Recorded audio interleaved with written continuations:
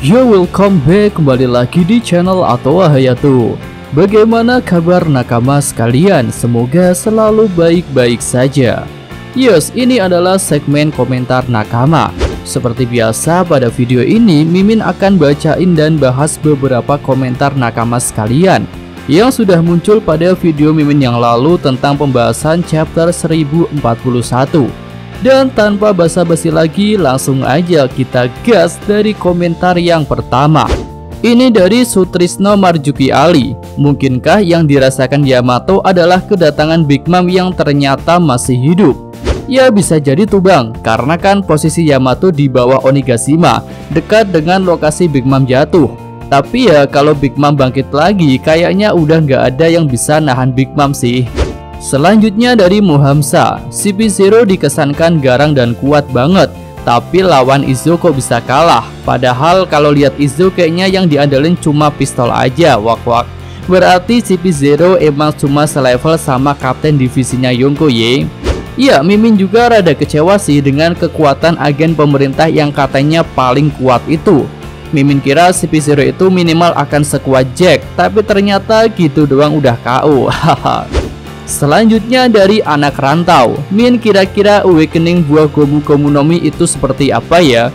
Kalau menurutku sih tidak merubah benda jadi karet Karena buah iblisnya bersifat pada tubuh penggunanya Bukan untuk benda di sekitarnya.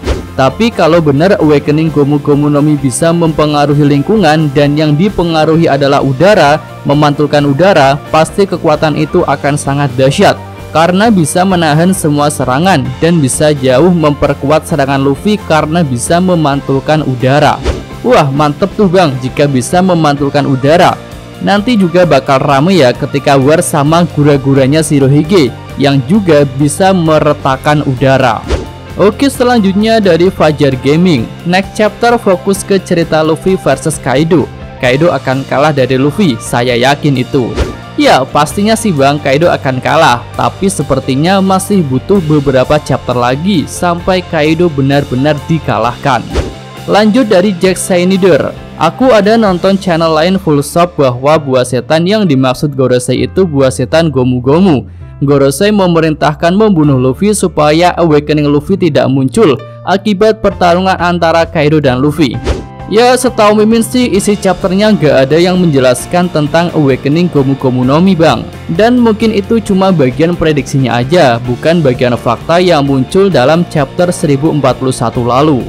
Selanjutnya dari keluarga Samara SY Kayaknya sih Luffy bakalan kewalahan mungkin ada serangan comeback dari Kaido. Nah ini nih Mimin setuju ya jika Kaido masih bakal comeback lagi dan setelah itu Luffy nanti akan kehabisan tenaga dan saatnya untuk energi dari Awakening muncul untuk menggantikan energi Haki Luffy yang sudah habis. Lanjut dari Muammar Gaddafi, Bangkan Onigashima terbang, terus siapa yang menjaga kapal Kurumugiwara? Kan seluruh tim SHP ada di atas Onigashima, terus kapalnya ditinggal di tempat. Ya mungkin juga Sanigonya ikutan naik bang. Jadi ya ketika Onigashima terbang, air laut di sekitarnya mungkin juga akan jadi surut dan menghasilkan beberapa daratan baru. Lalu Suni ada di daratan baru itu dan ikut naik bersama Onigashima. Iya mungkin aja seperti itu nanti skemanya. Lanjut lagi dari Hidayatullah Ramli. Apakah Awakening Luffy benda mati yang disentuh bisa jadi karet, Sam like Dovi?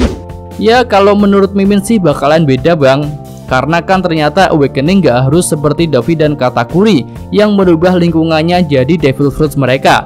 Karena kan Awakening Law dan Ki juga beda, jadi Mimin rasa Awakening Luffy juga nanti bakal beda. Lanjut dari Itshadi Vicky, setelah chapter 1041 saya yakin kalau buah iblis yang dibicarakan Gorosei adalah buah iblis Luffy, yang mana mereka takut akan awakeningnya. Ya, bisa jadi sih Bang, pendapat itu sudah banyak bermunculan dan mari kita tunggu faktanya aja. Selanjutnya dari Lukman Hakim, si P0 dapat tugas buat ngabisin Luffy. Mending pulang kampung aja dah, wak wak wak. Haha. Iya bener sih bang, tugasnya parah banget ya, gak kira-kira. Apalagi bos CP0 itu kan sudah terluka dan pasukan tambahan pemerintah dunia juga sudah dihadang oleh Zunisa. Iya makin berat aja itu tugas. Lanjut dari Wanda Septiadi, Kayaknya legend yang halangi Luffy Zunisa deh. Ya sementara ini Sunisa ada di pihak aliansi sih Tapi entah ya jika tiba-tiba terjadi sesuatu Yang membuat Sunisa kembali melakukan kesalahan yang sama seperti 800 tahun yang lalu. Wah bakal rame tuh, mari kita nantikan. Lanjut lagi dari Lucky Setiawan. Masih menunggu Aokiji hadir di Wano. Ya, untuk Aokiji sih memang pernah diprediksikan bakal datang ke Wano ya Untuk mengisi posisi burung agar bisa sama dengan legenda Momotaro tapi setelah Marco datang, kayaknya posisi burung sudah ditempati oleh Marco. Selanjutnya dari Dwi Kancit. Mantap kalau Memo Memonomi ambil ingatan Niji dan Yonji sewaktu masa kecil Sanji biar dihapuskan. Ya mantap sih bang, mungkin mereka nantinya malah akan menghormati Sanji ya Karena kan ingatan masa lalu mereka sudah hilang Selanjutnya dari Bartolomeo, saya jadi lebih kasihan pada anggota CP0 yang pendek itu Wajah orang itu terlihat frustasi. Satu, melihat temannya tumbang. Dua, mendapatkan tugas baru yang mustahil baginya. Ya, bener tuh bang ya. Dia pasti tertekan banget deh. Dan kita nantikan aja apa yang akan dilakukan oleh bos CP0 itu. Lanjut lagi dari Aditya Wibowo. Alasan kenapa Luffy jadi target baru pemerintah dunia karena awalnya pemerintah dunia tidak tahu kalau Luffy yang memakan buah yang dicuri oleh Shanks dari pemerintah dunia. Mungkin pemerintah awalnya ngira Luffy cuma makan buah karet biasa, tapi pas Sans datang ke Marejua untuk bercerita soal seorang bajak laut, gue rasa Sang ngasih tahu ke Gorosei kalau buah yang dicuri Sans, buah yang ditutupi keberadaannya dimakan oleh Luffy.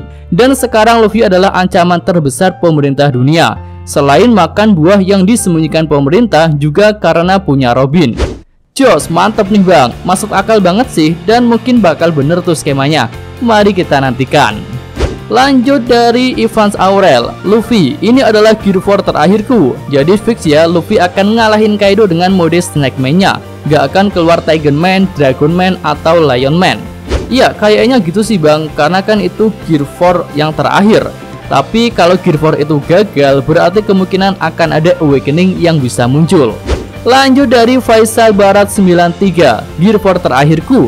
Jika mode Snackman tak mempan juga kemungkinan besar kartu asnya yang bakal ditunjukin tuh Min Semisal Gear 5 atau Awakening Soalnya kan sampai tenaganya habis gitu Tapi gue yakin sih Awakening Ya Mimin juga lebih setuju jika Awakening yang akan muncul Lanjut dari Bagus Hirata Luffy versus Kaido adalah pertarungan puncak di mana kedua belah pihak mengeluarkan jurus pamungkasnya yang saya khawatirkan setelah itu terjadi ada pihak yang mengambil kesempatan yaitu CP0 dan tidak menutup kemungkinan ada pihak lain yang akan datang. Dilihat kedua belah pihak sudah tidak bisa melanjutkan pertarungan, entah itu pihak aliansi ataupun pihak bajak laut Beast. Untuk Big Mom apakah ditolong sama anak-anaknya secara Big Mom jatuh dari Onigashima? Menarik perlu ditunggu kelanjutannya. Iya benar sih bang, rentan sekali terjadi proses penyampahan dari pihak-pihak luar. Dan mari kita tunggu siapa aja yang akan datang untuk nyampah.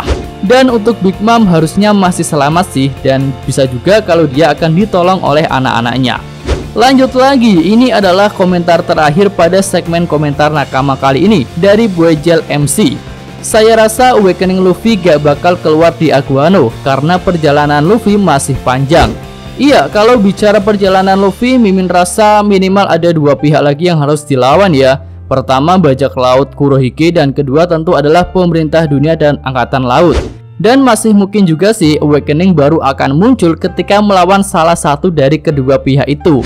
Oke, sampai di sini aja segmen komentar nakama kali ini. Mimin mengucapkan terima kasih pada nakama sekalian yang setia nonton dan berkomentar pada channel Atau Hayato. Oke, Mimin atau Hayato, terima kasih. Iya, sampai di sini aja video kali ini. Semoga nakama sekalian menyukainya. Terima kasih udah nonton. Jangan lupa kasih like dan subscribe channel atau Hayato. Shoo!